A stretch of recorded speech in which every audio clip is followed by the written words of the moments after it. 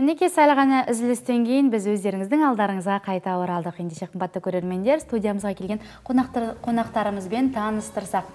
Бұл кубоктар емес шынайы қонақтарымыз бар. Бұл кубоктардың иелері. Ендеше шын, таныстырып кетейін.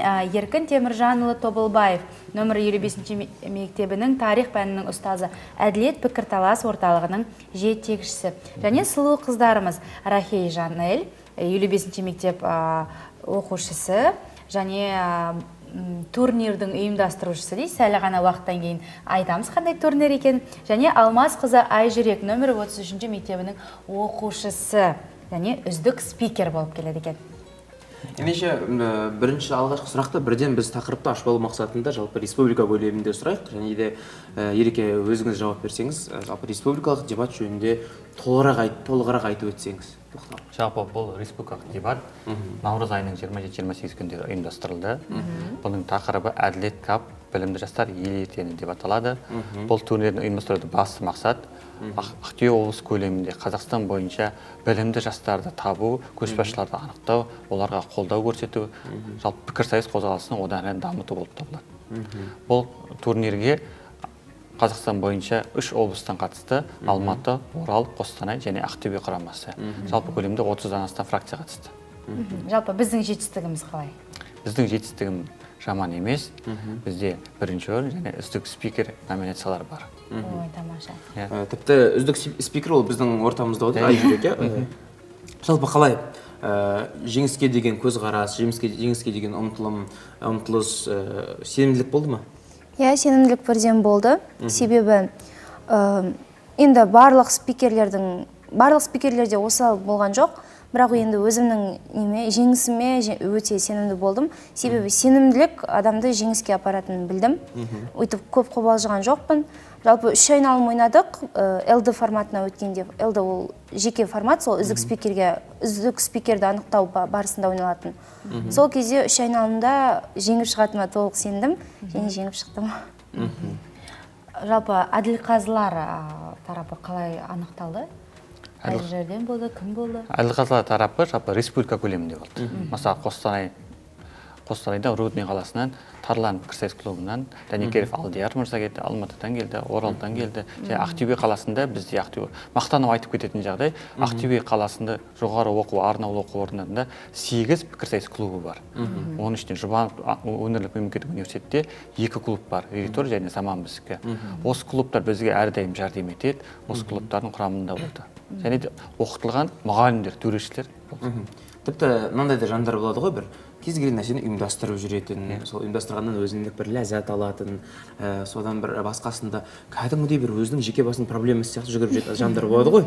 Ә, сондай жандардың бірі біздің ә, жанель сияқты иә. Ә, жанель қалай ұйымдастыру қабілеті өзіңе ұнай ма қасиеті? Ә, жалпы ұйымдастыру қабілеті өзіме қатты ұнайды. Ә, себебі болашақта бұл маған өте керек мамандығыма байланысты. Ә, жалпы ұйымдастыру қабілетіне сен жан жақты боласың Ә, барлығын алып жүре аласың. Ә, мысал ретінде концерт ұйымдастырсаң концерттің қалай ұйымдастырылатынын қалай кезектен кезек ретін ә, жүргізушілерді қалай дикциясын қою керек соның барлығын өзіне бір тәжірибе ретінде үйреніп аласың. Одан кейін кез келген семинар болсын немесе турнир болсын ә, осы тәжірибелерді өзіне бір дұрыс ретте пайдалана аласың. Ә, жалпы кешегі 27 және 28 наурызда ұйымдастырылған турнир ә, оның ұйымдастыру ә, бастамасын не- негізі еркін ағайым алған болатын. Ә, маған ұсынды. Ұсынысты қабыл алып екі күн бойы дебатерлардың жанында жүрдім. Ә, кабинеттерді бақылап олардың ойындарын қарап ә, жалпы қалай жүру керек ережесімен таныстырып ә, дебат сүйер қауыммен қалай сөйлесу керек соның барлығын өзім бастамасын алып жүрдім. Жалпы негізі нұрсұлтан біз білеміз иә дебат а, бір осыдан бір төрт бес жыл бұрын бір жақсы а, е, қолданысқа ие болған сияқты. Бірақ дегенмен қазір мен көп естімеймін Иә, сәл дебат болып жатыр, сәл басылып қалған сияқты. Не себепті? Себебі деген қазіргі таңда бізде бұдан төрт бес жыл бұрын жақсы дамыған белгілі. Одан кейін соңғы үш жылдықта соңғы үш жылдықта яғни бұдан 2010-нан 2014 жылға дейін дебат қозғалысында мектеп лигасы көрінбей кетті деген негізгі негіз бар. Соны 2015-тен бастап 2017-ге дейін мектеп лигасы қайтадан ашылды. Қазіргі таңда ақтөбе қаласы білім беру ұйымдарының арасында 37 мектеп клубы жұмыс істейді. Бұл клубтардың жұмыс істеуіне тікелей мектеп басшыларының қатысы бар деп ойлаймын. Себебі қазіргі таңда солардың қолдауы арқылы бұл жұмыс жүргізіліп жатыр. Түсінікті. Қазір ә, дебатта қандай тақырыптар актуалды болып жатыр? Қандай тақырыптар көбірек қозғалып жатыр? Қазіргі актуалды э, тақырыптарға келер болсақ ол жастардың білімі сауаттылығы одан кейін қоғамдағы бүкіл орын алып жатқан жағдайлар оның ішінде діни сауаттылығына көбірек тоқталамыз. Одан кейін бірнеше мәселелерді шешу барысында осы қоғамдағы дұрыс емес болып жатқан э, жат пиғылдарды э, э, жеңудің ұсын- тиімді механизмдерін ұсынып шығамыз. Жалпы тақырыптар көлемі өте көп. Дайындалуға да неге де уақыт беріледі? Қанша уақыт? Бір екі апта береді. Екі апта бұрын тақырыптар жариялайды турнирге дейін. Екі аптада өте дайындалып кең ауқымда ашуға қауқарымыз жетеді иә? иә. мүмкіндік мысалы ә, еркін мырза мыс- мысалы ә, екі апта дайындалған тақырып сол тақырыпты ә, ақтарып болғаннан кейін тақырып ашылып болғаннан кейін бір күтпеген жерден тағы бір тақырыпқа ортақ бір уақыт беріп тексеріп көрдіңіздер ме? Бізде о- оқушыларды сынау мақсатында себебі пікірсайысқа кез келген оқушы келе алмайды. Оған элита көшбасшы боламын деген оқушылар келеді. Қазір өткізіп жатқан жалпы қалалық болсын облыс болсын республика болсын соңғы финалда ойнайтын тақырып құпия тақырып болып табылады. Тосыннан қойылады бұл тақырып. Осы тақырыпты пікірсайысшы қалай ашады қалай жеңіске жетеді соның өзі механизмі өзін түсіндіру жұмыстары арнайы жетекшілермен жүргізіледі. Оларға тосын сыйына себебі қазіргі таңда бізге қоғам тосын сыйды әзірлеп отыратыны белгілі. Жалпы қыздар дебатқа шықпас бұрын мысалы қорқыныштарыңды қалай жеңесіңдер? Жалпы қалай, қалай жұмыс жасайсыз балдармен мысалы? Өзін өзі ұстау өзін өзі көрсету. Қанша дегенмен алғашқы рет ә, адамдардың алдына шығып өзіңнің пікіріңді жеткізу ол өте қиын нәрсе сияқты. Әсіресе мектеп оқушысы жасындағы балдарға. Иә мысалға дебат бастаған кезде ә, мен өзім дебатқа алты ай бұрын келген болатынмын. Оған дейін тек шет жағында жүрдім. Ә, осы алты айдың ішінде ә, осы дебаттерлардан үйрендім қалай механизмін барлығын. Одан кейін мысал ретінде ә, сен аудиторияның алдында тұрасың ғой сол аудиторияның алдында сен ешқандай сөзіңді ұмытпай кез келген берген тақырыпты аша білуің керек. Ә, және уақыт лимиті деген болады. Уақыт саған тығыз беріледі. Сол уақытты тиімді пайдаланып тез тез сөйлеуің қажет. Бұның өзі бір дебаттың бір қасиеттері мысалы ретінде дебатерлар болады тез тез сөйлейді немесе ә, ойын анық, жеткізетін дебатерлер болады. Уақытын тиімді пайдаланып немесе бір актерлік шеберлікке салынып кететін дебатерлер болады. Кәдімгідей қолын қойып Ә, бұның барлығы ол осы дебатерлардың қасиеттерінің қатарына жатқызуға болады. Мысалы ретінде мен өзім ең алғаш рет турнирім номер 33 мектепте өтті. Осы турнирге ең алғашқы жанында спикерім болды. Осы турнирімде қалай қорқыныш жеңгенім енді қолым дірілдеп кәдімгідей қорқыныш сезілді. Себебі бірінші турнирім болған. Ә, бірақ ә, өзімде жаңағы бір ә, адам өзі тәрбиелеу керек қой өзін өзі. Мен жеңе аламын деген ой болу керек сенім болу керек. Сол сенім ғана сені алдыға жетелейді. Сол сеніммен ғана мен осы турнирлерден турнирге қатысып ә, тәжірибе жинап жүрмін. Бәрекелді.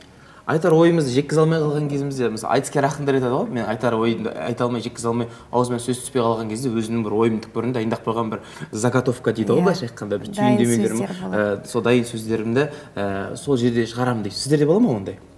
Әрине енді барлығына дайындалып жүресің ғой. Көптеген философиялық сөздерді нелерді жаттап аласың. Енді оны жаттап алғаннан бұрын оны дұрыс қолдана білу керек дер кезінде.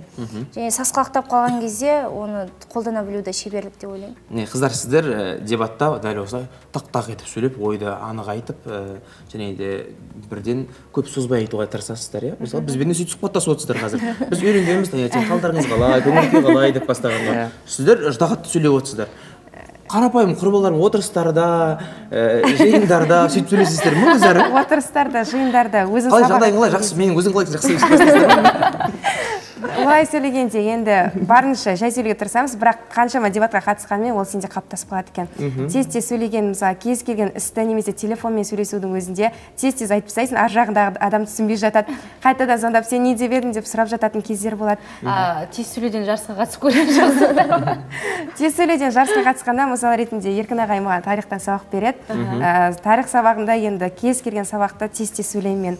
Жаңағы қы- жанымдағы құрбы құрдастарым класстастарым маған әзілдеп қалжыңдап айтып жатады. Сенің сөзіңді кері қарай бір уақыт машинасын құру керек сенің сөзіңді қайтарып алатын деп.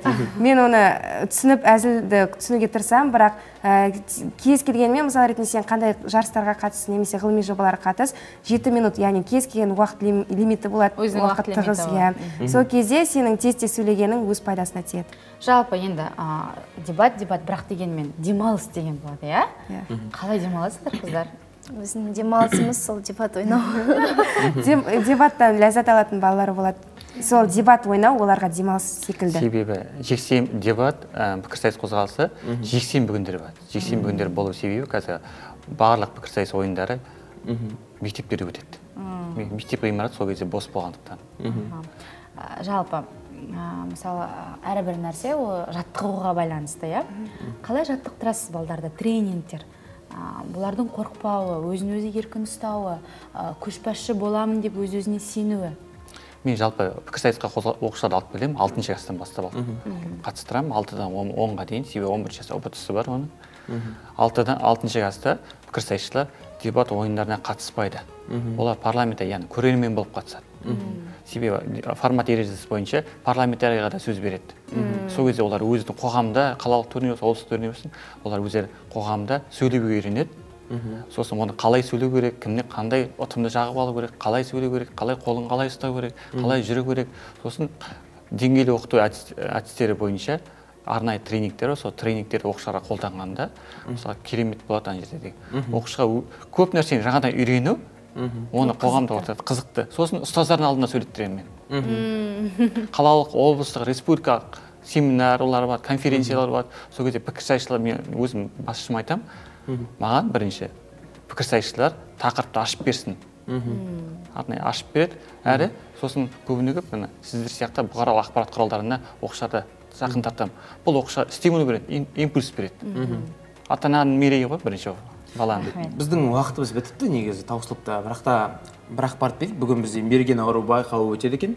Ә, сол жөнінде шағын ғана бір бір кішігірім триллер айтып жіберсеңіз. Ә, бір минут. Ә, жалпы мерген ару 2017 ол республикалық чемпионат. Ә, пневматикалық винтовкадан ату қыздар арасында өткізілетін жарыс сайыс. Ол біздің мектепте яғни номер елу бесінші жалпы орта білім беретін мектепте өткізіледі. Бүгіннен басталады. Ә, бүгін бұйырса тоғыз жарымда ашылуы болады. Ашылуынан кейін жаңағы қыздар арасында жарыс өткізіледі және кешкі алтыда жабылуы болады. Ә, бұл негізінен мерген аруға ә, жаңағы әр қаладан келеді. Соның қатарына мысалы ретінде жаңақорған алматы қызылорда қалаларын жатқызуға болады. Және де осы ақтөбе облысына ә, көп көмегін тигізген әскери жетекшілер сонымен қатар кіші капитан немесе сержанттар медальмен марапатталады. Ә, және сырттан келетін жаңа полковник секілді құрметті қонақтарымыз бар. Рахмет. бәрекелді. осымен біз бүгінгі қонақтарымызбен сұхбатты жабық деп жариялаймыз. Шамалы аздаған уақыттан кейін біздің студиямызға қайтадан қонақ болып келген кезде мына кубоктарыңыз бұдан да үш есе көп болуына біз тілектеспіз. Рахмет. Рахмет еңбектеріңіздің жемісін көріңіздер. Тек сіздердің жеңістеріңіз туралы біз жақсы хабар естіп отырайық мақтанып отырайық. Ал бізде жарнама ақпараттар топтамасы өздеріңізбен алдағы бөліктерде жалғастыратын боламыз.